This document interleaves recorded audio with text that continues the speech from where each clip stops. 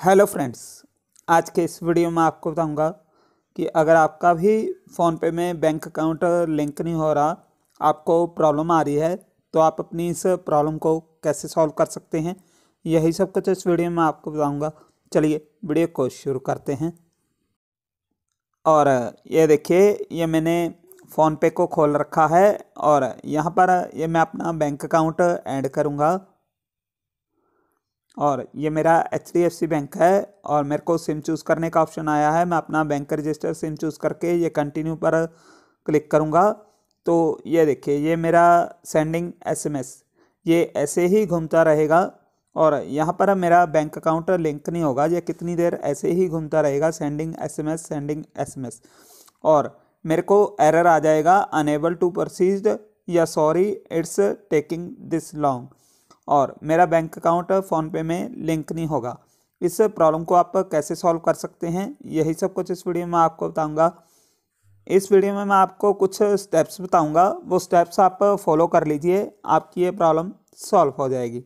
आपका bank register mobile number वाला SIM activate होना चाहिए, उस पर रिचार्ज होना चाहिए और जो भी उसमें रिचार्ज हो, उसमें आपको आउटगोइंग मैसेजिंग की सुविधा मिली हुई होनी चाहिए, क्योंकि जब भी हम फ़ोनपे में अपना बैंक अकाउंट ऐड करते हैं तो हमारे उस सिम से एक ऑटोमेटिकली मैसेज सेंड होता है, तभी जाके हमारा बैंक अकाउंट फ़ोनपे में लिंक होता है। इसलिए आपके बैंक रजिस्टर मोबाइल नंबर पर जो रिचार्ज हो, उसमें आपको मैसेजिंग की सेवा मिली हुई होनी चाहिए। और आपका बैंक रजिस्टर मोबाइल नंबर वाला सिम आपके इस मोबाइल में भी होना चाहिए, जिस मोबाइल में आप फ़ोनपे को यूज़ करना चाहते हैं। और जब भी आप फ़ोनपे में अपना बैंक अकाउंट लिंक करते हैं, आपको सिम चूज़ करने का ऑप्शन आता है। आप अपना बैंक रजिस्टर मोबाइल नंबर वाला सिम ही यहाँ पर चूज़ कीजिए और उसके बाद कंटिन्यू पर क्लिक कीजिए। और आपके बैंक रजिस्टर मोबाइल नंबर वाले सिम में बैलेंस भी माइनस में नहीं होना चाहिए, उसमें कुछ एक दो रुपये बैलेंस भी होना चाहिए और आपको आउटगोइंग मैसेजिंग की सुविधा भी मिली हुई होनी चाहिए। और किसी किसी को ये इस सेटिंग के कारण भी प्रॉब्लम आ जाती है। किसी किसी मोबाइल में ये सेटिंग होती है। ये सेटिंग भी आप देख लीजिए, अगर आपके मोबाइल में है ये तो इस सेटिंग के कारण भी प्रॉब्लम आ जाती है। यहाँ पर एक सिक्योरिटी ऐप होता है मोबाइल में, ये देखिए, ये सिक्योरिटी ऐप आप इस सिक्योरिटी ऐप पर क्लिक कर दीजिए, आपको एग्री और डिसएग्री दो ऑप्शन आएँगे। आप एग्री पर क्लिक कर देना उसके बाद भी आप करके देख सकते हैं, अगर आपकी प्रॉब्लम सॉल्व हो जाए। और अगर फिर भी यहाँ पर आपकी प्रॉब्लम सॉल्व ना हो तो यहाँ पर एक सेटिंग का आइकॉन है, ये देखिए ऊपर। ये मैं आपको दिखा भी देता हूँ, ये ऊपर एक सेटिंग का आइकॉन है। आप इस सेटिंग के आइकॉन पर आप क्लिक कर दीजिए, ये देखिए ये ऊपर। ये सेटिंग के आइकॉन पर आप क्लिक कर दीजिए, और यहाँ पर नीचे आपको एक ऑप्शन मिलेगा विड्रॉल ऑफ़ कॉन्सेंट आपके मोबाइल में ये ऑप्शन ऑन होना चाहिए। और अगर आपके मोबाइल में ये ऑप्शन ऑन भी है तो आप इसको ऑफ़ करके फिर दोबारा से ऑन कर दीजिए। उसके बाद भी आप करके देख सकते हैं, अगर आपकी ये प्रॉब्लम सॉल्व हो जाए।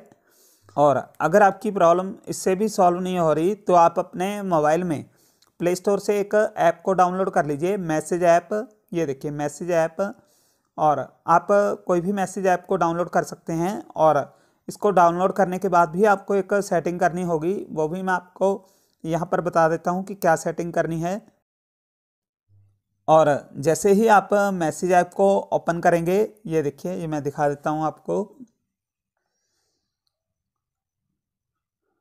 और जैसे ही आप मैसेज ऐप को ओपन करेंगे, आप इसको सेट एज डिफ़ॉल्ट ऐप कर दीजिए। और यहाँ पर ये देखिए, ये ओके कर दीजिए।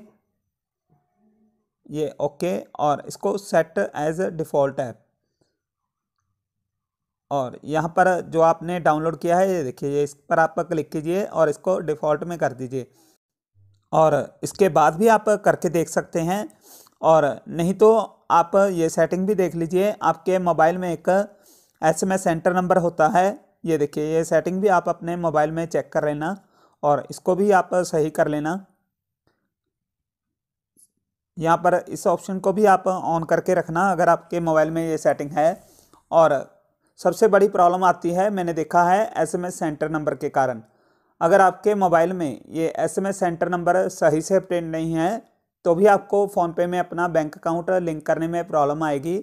और ये एस सेंटर नंबर क्या है एस एम नंबर क्या है, इसके लिए मैंने एक वीडियो बना रखा है। उस वीडियो का लिंक मैं आपको डिस्क्रिप्शन में दे दूँगा। वो वीडियो देखकर आप वो वीडियो देखकर आप अपने मोबाइल में S M S centre number को सही से अपडेट कर लीजिए। उसके बाद आप फ़ोनपे का क्लियर डाटा कर दीजिए या फ़ोनपे को डिलीट करके दोबारा से इंस्टॉल करके फिर कीजिए। आपको प्रॉब्लम नहीं आएगी, आपका बैंक अकाउंट फ़ोनपे में लिंक हो जाएगा।